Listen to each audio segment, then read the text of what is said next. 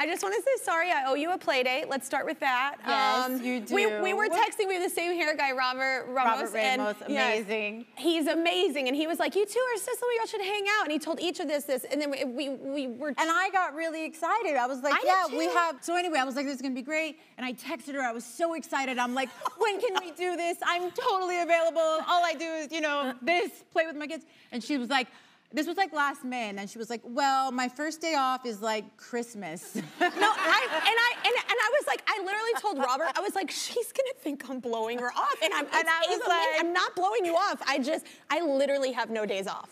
no, I very- don't. You do. You were, and congratulations on everything. Oh, thank Really, you.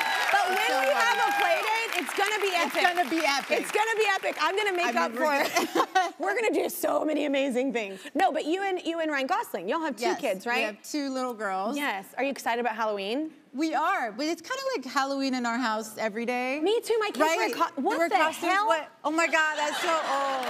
Look at him. It's so, he's so cute. Oh. yes. He's, he got the at him, he got Noah. No, but um, our kids are the same. They're literally constantly in They're costumes. constantly dressing up, and our Yeah. kids are obsessed with Wizard of Oz and Dorothy, Oh, so yeah. they've been Dorothy every year. So we're like, maybe we could do like a bloody Dorothy, like I can just put some blood on you or something. Because really, Dorothy, again, you want to like, you know. But it's kind of awesome because what my daughter did was tell me she wanted to be Princess in Black. We're reading these books. Then I, there is no costume for that. I had to make it happen and Well, put it all together great. with all my free time, Eva. Right. And then she was like, never mind, I want to be Anna. And I'm like, and then I get on and she's like, I don't know, Wonder Woman. I'm like, you're gonna wear it. I'm like, Which my one? daughter changes her mind all the time, our oh, five-year-old. yeah. I would love it if she wanted to be Dorothy every Halloween. every Halloween. it's magical. so what's she going with? You don't know. I have no idea. Right. She can wear a sheet for all I care and be a ghost at this point. I am past Are you it. the kind of mom like? Do you make the thing? You don't make. Hell no. I get on Etsy with all those mamas that have time to That make have time stuff. to make it. I'm with you. okay, so I love this. Um, Garth Brooks actually did this too. But so you put your life, your your career, kind of on hold to become a parent. That was really important to you. And I Yes. did. You, when did you realize? Wait, I picked the way harder job. Uh, well, you know, uh, every day. Um, and people are so sweet. They really try to like warn you, prep you when you're pregnant, but nobody can prep you. Nobody. And nobody told me it was going to really be a job. And a job that I needed an incredible amount of like skill for. And patience. Like in different areas. Yeah. A chauffeur, Yeah. a cook, a personal assistant to an abusive boss. yes. Um, Amen. um, they don't appreciate it. No, they don't. They're not grateful. I know. Oh my God, do they get grateful? Does that happen at some point? Uh, do they become grateful? I'm like, I didn't know I needed to. I agree. In any other profession, you would need to take a test or pass test. Yeah. The only test I had to pass was a pregnancy test. Yeah. That doesn't seem fair. Nailed it. Right? What do you. I'm What do you think the hardest part is though? Because I have my thing. What's your thing? The hardest part? Hardest part, hands down, I think we agree. is the amount of snacks I have to carry with me all day long. And the variety. you feel like a Sherpa, just going up the mountain with everyone's crap. Totally. yeah. Totally. Yeah. And you need variation. You need they variety. all like something different. They, they like something different. Oh. And you need to keep it like fresh because they're like, nah, especially on long car rides. Yeah.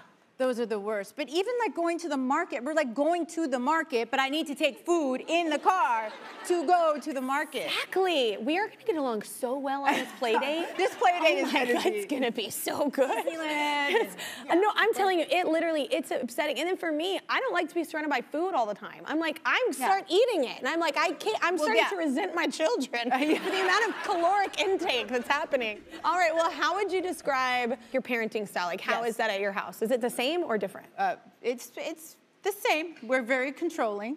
Very, very controlling. Yeah. We are, I think what the term is, we're always like laughing at these terms. I think we would be a bulldozing parent. You know, have Oh. you heard of the bulldozers? No, but I might be one. That's why I don't know about it. I, Yeah. well, well I, I heard of the term helicopter parenting. have you Helicopter, guys heard that? I'm like, well, what else are we supposed to do? They're like this big. We have to be on top of them every second. Or the, your house will flood or be set on fire. Like, yeah, Exactly. Yeah, yeah. It's literally the stakes are really high. So yeah, I'm a helicopter parent.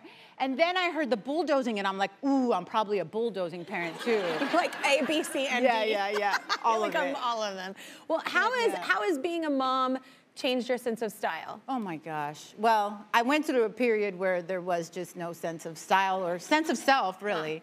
Yeah. I kind of lost myself a little I bit I might there. be there right now, but I don't know. I have so many jobs.